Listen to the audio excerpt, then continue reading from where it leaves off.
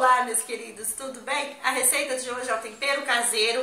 Conforme eu prometi para vocês, eu tô cumprindo. Eu trouxe o meu tempero que eu sempre uso, na minha, sempre uso nas minhas receitas.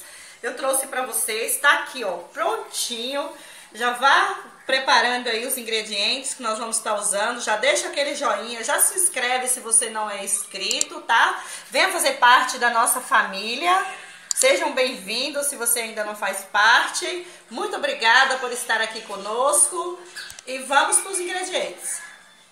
Bom, aqui eu tenho 100 gramas de alho descascados. Eu tiro aquele talinho escuro. Aqui eu tenho quatro cebolas médias. Tem uma pimenta de cheiro aqui e meio pimentão.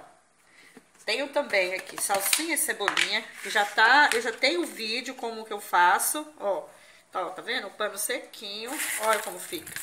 Salsinha e cebolinha. Eu vou deixar na descrição do vídeo o outro vídeo que eu tenho ensinando a congelar esses temperos, que dura ó, muito tempo. Então, eu vou levar o liquidificador. Esse é o tempero que eu uso em praticamente todas as receitas que eu faço. Vou estar colocando aproximadamente uns 50 ml de óleo. Não vou nem medir não, que mais ou menos eu faço sempre, eu já sei e um pouco de vinagre, que esse vinagre é para ajudar a conservar o nosso tempero. Um pouquinho só de vinagre, uns 40 ml, 50 ml. E o cheiro verde eu vou colocar, aqui, ó, vou pegar com a mão mesmo assim, ó, uns dois punhadão assim. Esse tempero eu uso para carne, para tudo. Vou estar tá dando uma leve batida.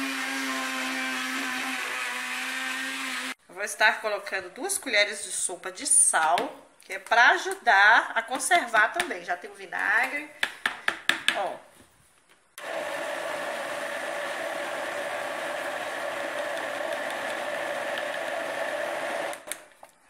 Pronto. Coisa de um minutinho, ó.